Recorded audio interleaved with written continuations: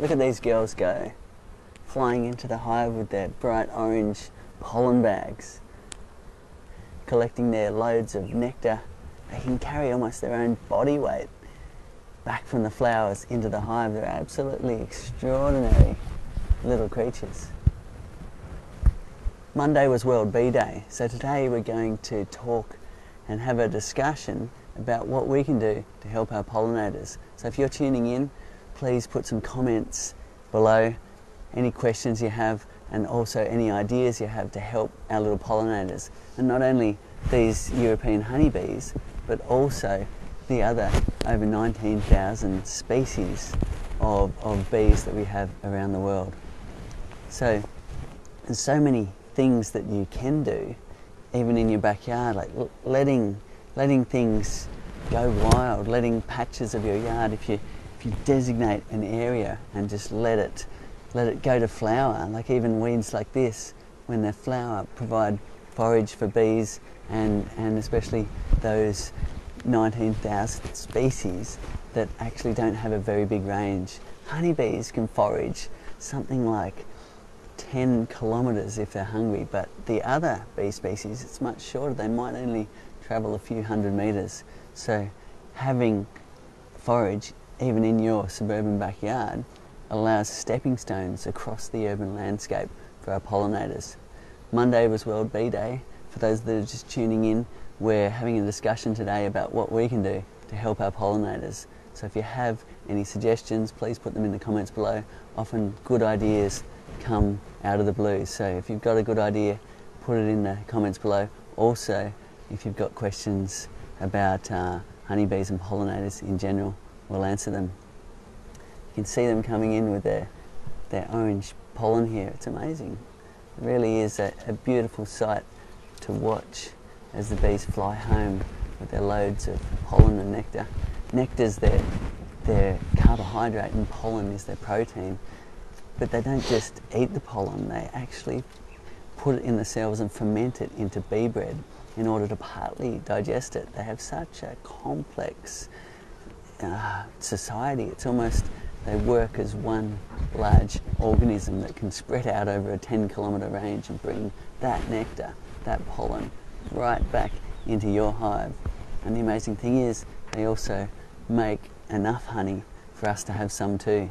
It's a beautiful symbiotic relationship that goes way, way back, where, where now we are so intertwined with these honeybees that we actually are in trouble without them. What we're going to do is pop the lid and also answer any questions you have or any suggestions you have to help our bees and our pollinators of the world. It's so fantastic that bees are on the agenda. And things like World Bee Day, it's, a, um, it's an important milestone in history that humans are really seeing the importance for bees. Because when we look after our bees, we also look after our world because what bees need is biodiversity, an ecosystem just like us, if you, if you eat one form of protein, which is their pollen, then you'll get sick. So they need, they need a good variety, and beekeepers know that. If you go and put your hives on canola, you can't leave them there, there for, for too long or they get sick. You have to then move them to where there's, there's an abundance of different flowers, an abundance of, of different pollens for them to really get into and, and to stay healthy. I'm just going to pop this uh, bee veil on and then we're going to open up the hive and, and really have a look at what's going on. A beautiful sunny day like this is the perfect time to open up your hive. Get the smoker going again, often if you've been standing around, goes out a little bit.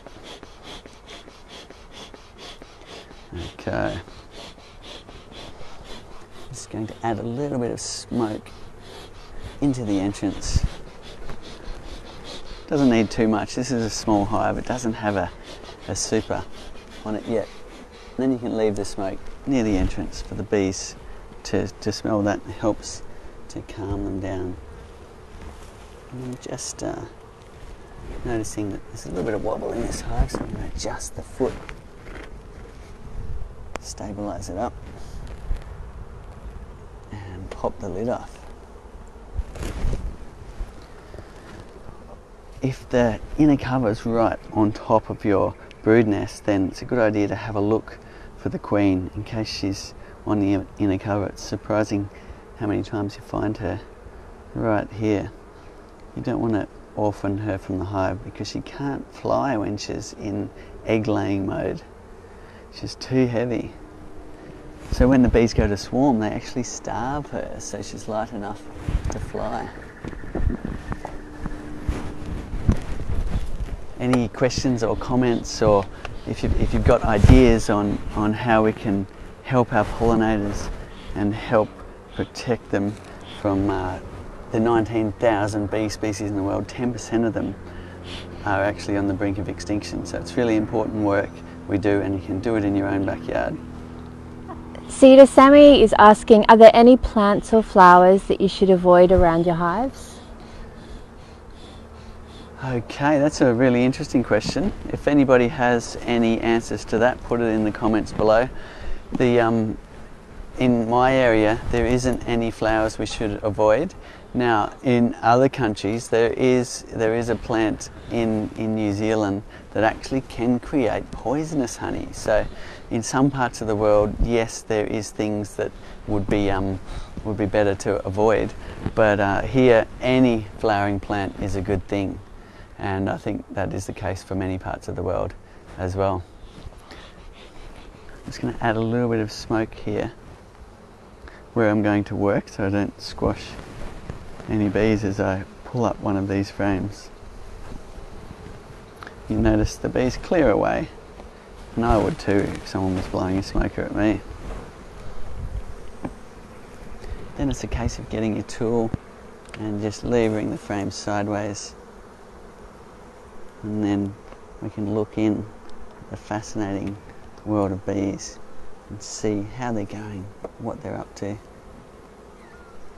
just loosening up that frame. And I'm just going to pull that up nice and slowly. The first one's always a little bit more tricky because the spacing is tight. Okay, I've just lifted that frame. Let's have a look what's going on. So that one is actually mostly honey. You can see the capping there they have used it for brood, but they've filled it in with honey.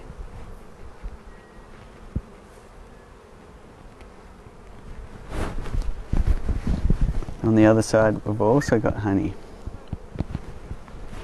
So that's a beautiful example of naturally drawn comb. We've just let the bees hang that comb from the from the uh, comb guide, which inserts into the top of the frame and what an amazing structure they create.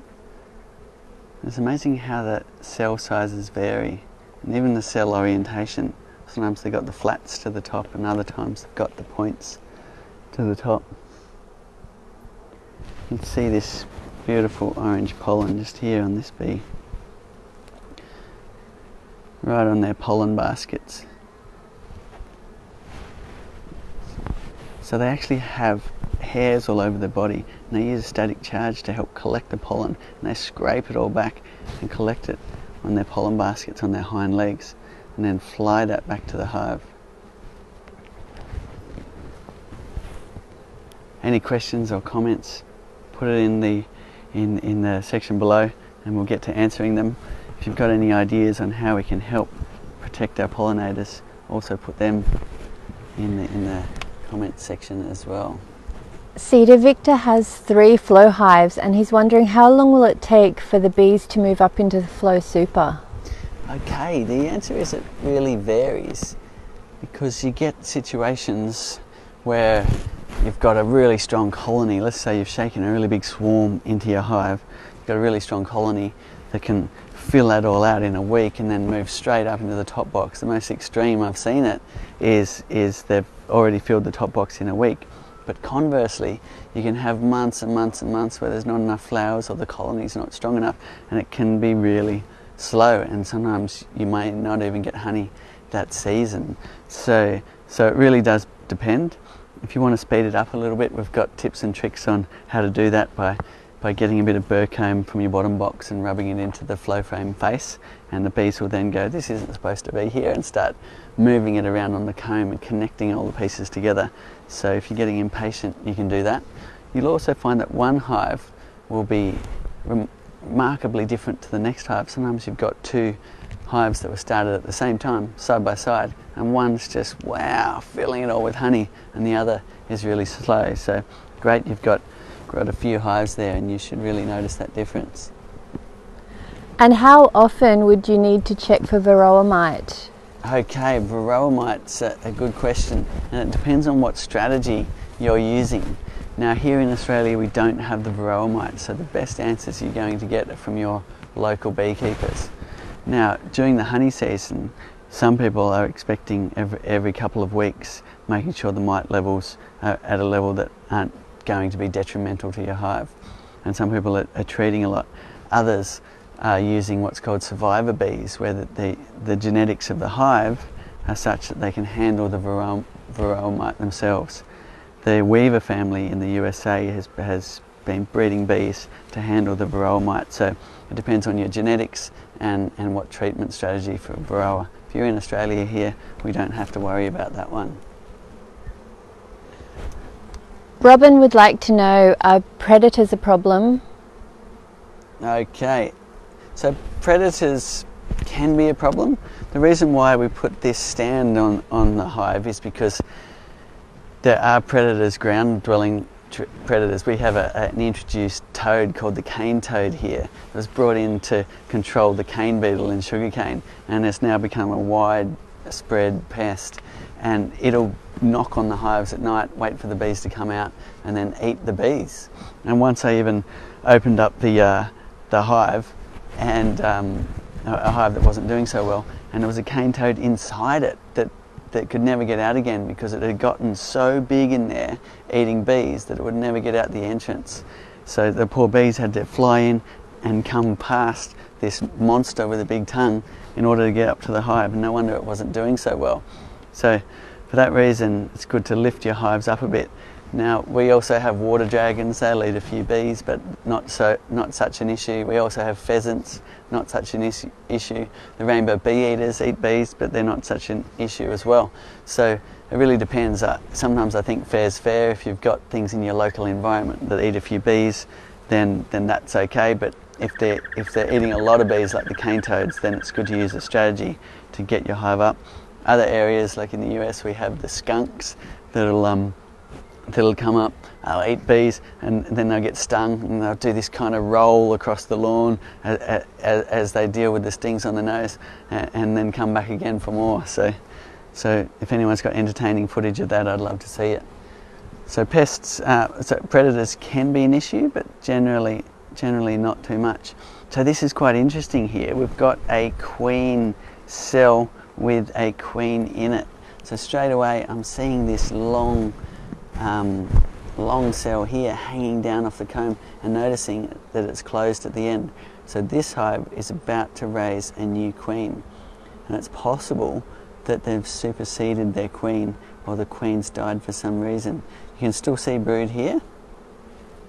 So what I'm going to have a look at now is whether there's eggs or young larvae down the cells and whether there is a laying queen currently in the hive. If there's not, they will make one pretty soon by the look of it. Um, if I swap over to this to this other side, I'm seeing patchy brood. So, so um, again, looking down the cells, and I can't see bee eggs. So it looks like they've lost their queen recently and I can't see um, any sign of young larvae. So the capped brood there is actually what they're going to need to replace their worker bees because the worker bees may only live for, um, for, for three to six weeks depending on how hard they're foraging. So they'll need to, to, to be quick to raise a new queen. Now, the queen in here has, has um, been fed royal jelly for the entire uh, part of her life, which um, and not feeding her the plant proteins from from the pollen means that genetically she turns into a queen. So it's actually lo- lack of the plant proteins, uh, uh, uh, the constituents in the in the pollen, which means she will then be supersized into a into a bee with large ovaries, ready to to go about a long life up to six years of laying a few thousand eggs a day. It's extraordinary. And here you can see the male bees right in this area with their big eyes. You can see just at the tip of the tool they've got much bigger eyes and a bigger body. People when they're starting often mistake them for queens, but the queen looks quite different. She's more like a elongated worker with bigger legs. So I don't think we're going to see a queen today. Looks like they currently are queenless, but they're, they're quite on to replacing that queen, so that's good news. Lane would like to know what kind of bee works best in a flow hive. So the European honeybee is the is the one that that um, most people are using. Although there's there's Apis japonica, and, and there's uh, there's a few different species around the world in Japan and in Asia where where um, they are actually a different species of bee and it still does work in the flow hive, but there's a size change. So our Japanese friends are making flow hives that are, that are about this long with the flow frames and, and a tall little hive like this, and then it works. But all of the Apis uh, mellifera, which um, includes uh, the Italian bees, the, car- the the, um, the, the many varieties you can get from, from a bee breeder, the Caucasians, um, all work perfectly with the flow frames. So pretty much any of the honeybees you can get from a bee breeder. Just going to pry apart this next frame here. Being careful not to damage that queen cell. And putting my tool here. Again, if you've got any questions or comments about how we can help our bees, put them in the comments below. It's interesting to think about, like even your choice as a consumer has a profound impact. If you buy a bag of organic muesli or granola, then that's thousands or even millions of flowers that were pollinated to go into that bag of, of, of granola. And, and when you choose to buy organic, that's thousands or millions of flowers that weren't sprayed with insecticides. So there's this amazing flow on effect simply from your buying choice. And when you do that, you also support organic farmers who, who are actively doing things in a different way in order to best support our ecosystems. So that's one way you can help every day. Any comments, put them in the questions below, any ideas to help support our pollinators be most welcome. Carlad says GMO and pesticides are killing our bees. Um, do you want to speak on that? It is true. It doesn't take uh, a rocket scientist to work out if you spray insecticides onto flowers, you'll kill insects like the pollinating insects. At the moment, it's something like over a billion litres of insecticide sprayed each year on our precious planet. Now, that is an issue. That is a real issue not only for the honeybees, but all of the other insects on, on our globe. There's been rep reports coming back from, from Europe saying 90% of insects have disappeared. Now, that is huge, and it is huge news that we can have such catastrophic losses on such a big global scale. So, humans really do need to change their ways. And we as consumers need to change what we buy. If you go and buy the cheapest stuff from the supermarket, you're often supporting a, a type of farming that is actively damaging to, to our pollinators, to our insects, to our environment. And you are taking a part of that. It's such a simple thing you can do is, is support the movement back to organic. It was organic for, for, for thousands of years, and it's only in the recent history that we've changed these practices that are having a profound effect on our honeybees and pollinators.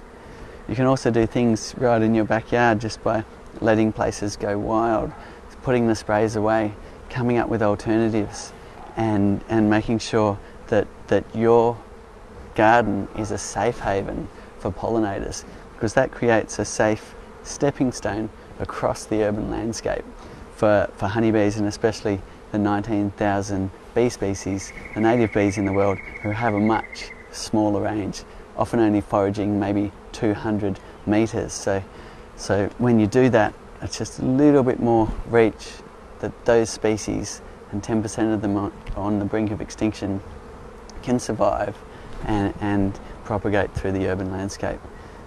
Any more questions or comments? Victor's hive is new. Should he put the super on straight away or wait until his colony is stronger? I would say wait until your colony is stronger and they've, they've finished building out all of your brood frames. Reason being is you don't want to be in a, in a um, situation, if you've got still got cold nights and things, you want the hive to rough, roughly be the right size for your bees. You don't want a massive area for them to patrol it just makes it harder when you get pests such as the, the small hive beetle and so on. So, so let your bees build up to there's plenty of bees like this in the box and then put your super on. Another reason is, is um, what you'll find is things will be very slow if you put the super on and you'll get impatient waiting for action in the flow frames. If the bees are busy and bustling like this, they'll move up and start working those frames much quicker, which is just a nicer experience. Cedar Peter lost their colony recently. Um, would the continual rain that they are getting in North Queensland have an effect on their once healthy hive? Black beetle and wax moth were evident. Um, they're now starting again, and how can they avoid this situation from occurring again? Okay. Um, generally, bees in this environment can can survive the rain. They even forage in light rain.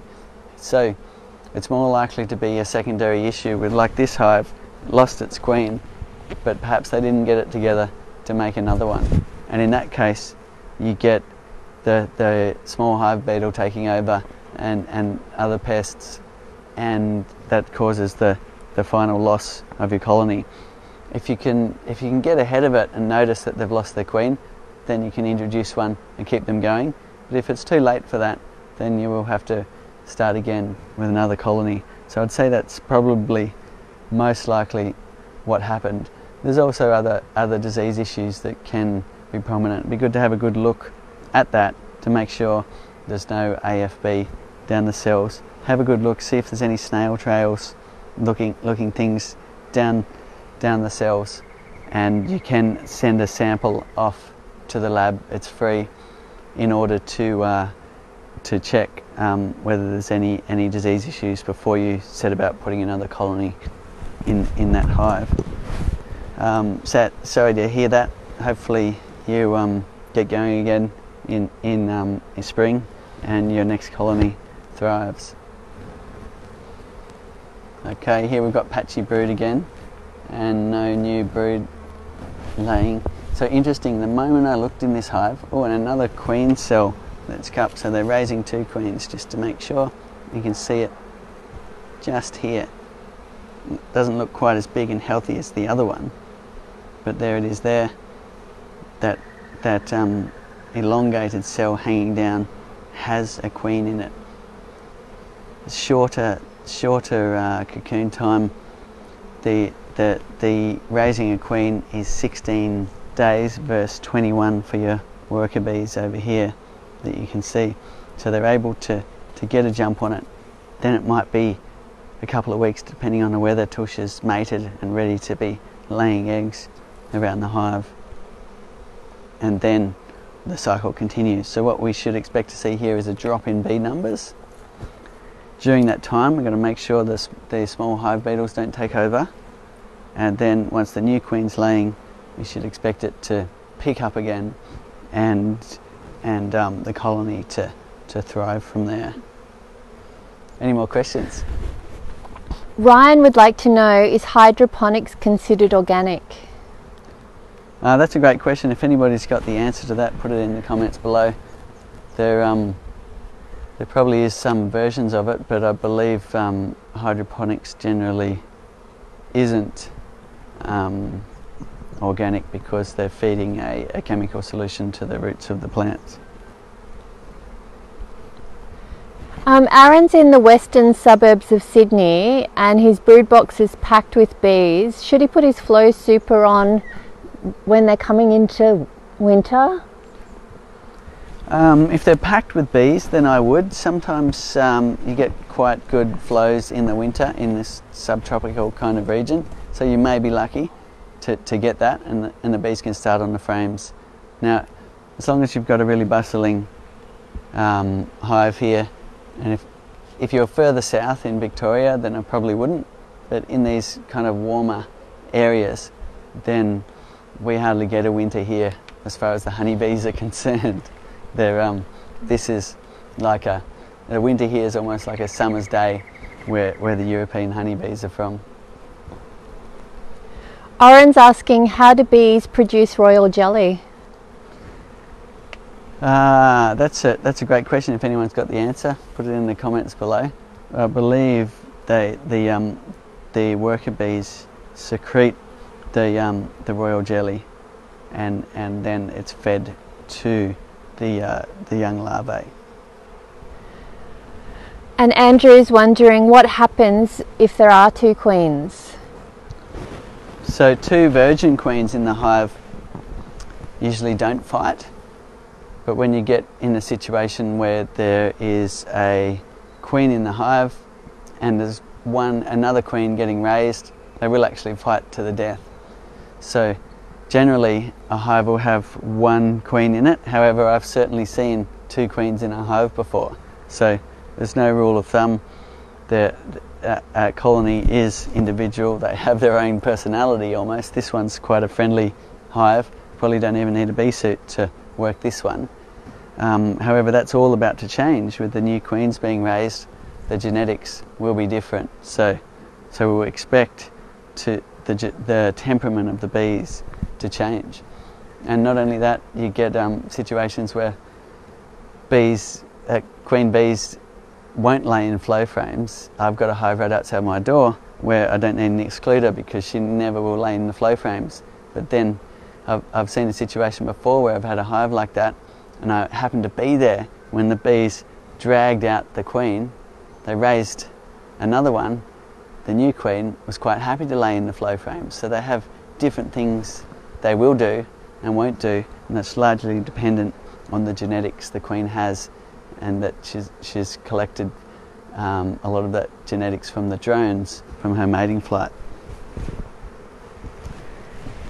Lee's wondering, are you going to release an internal sugar feeder for the flow hive? An internal sugar feeder.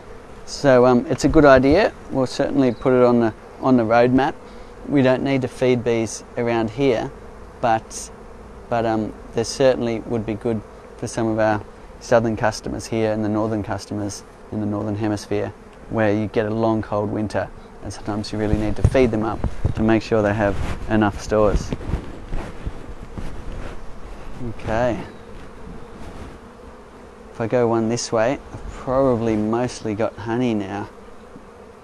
Considering the centre is generally where they're laying their babies and the outer edges is where they tend to store honey.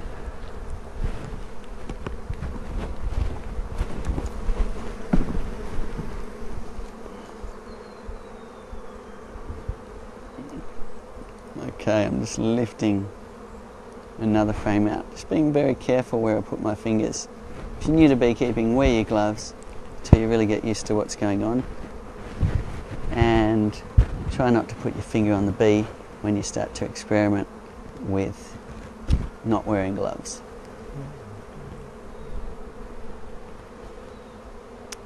Okay.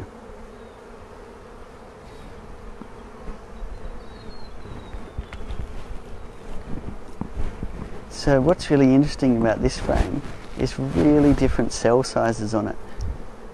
From my eye of, of studying bees over, over years and looking at the honey, where they're putting these honey frames, we've got cells up to 6.5 millimeters, which is amazing. And that's why we went for a larger cell size with the flow frames, is when they're storing honey, purposefully made for honey, they tend to go for a larger size. Whereas when they're, they're multi-purpose using a cell for brood and honey, they'll stick to around 5.3 millimeters, which is more like these cells over here. That's a typical size worker bee cell that they're laying, laying workers in. This over here, they would lay drones in it, but they wouldn't lay workers in this larger cell size area.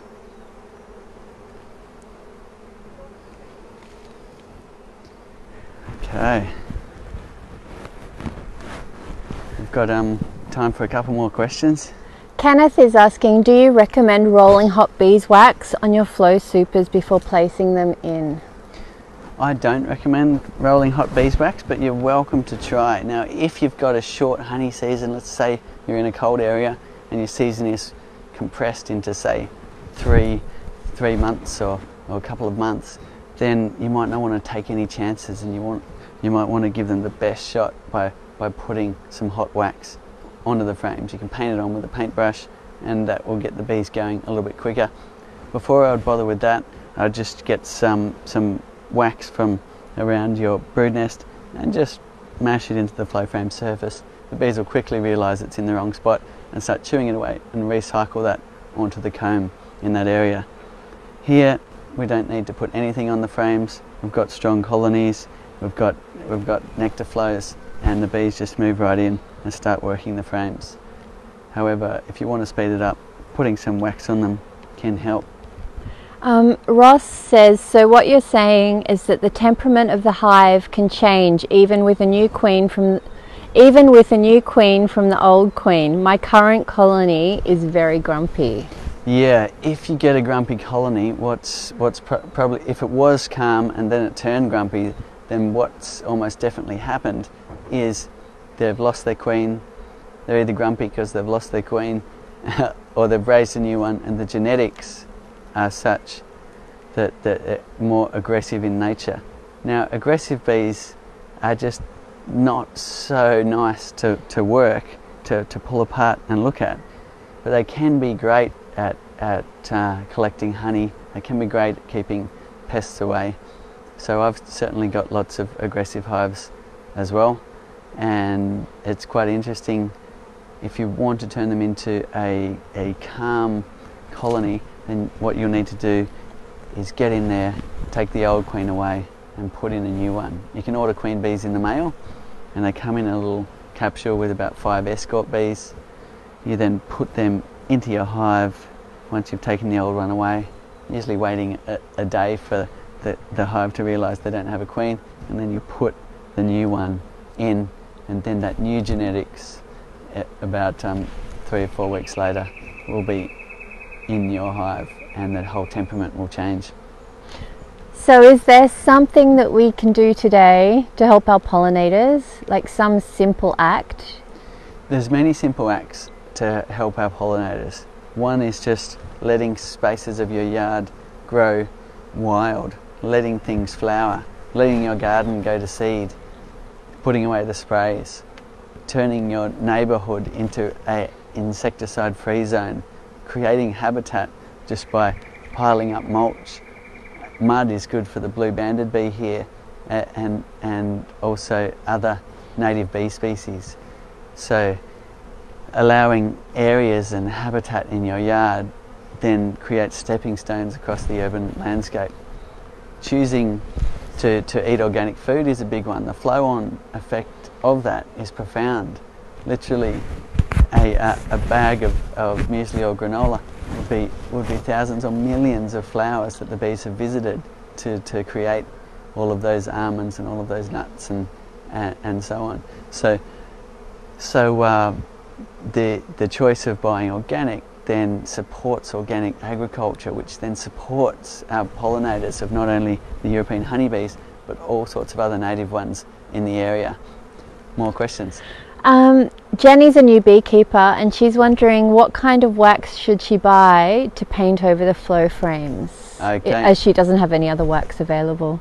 Okay, if you do want to put wax on your flow frames, the first place I'd recommend is getting it from your brood box. That way you're not introducing any foreign wax into your hive.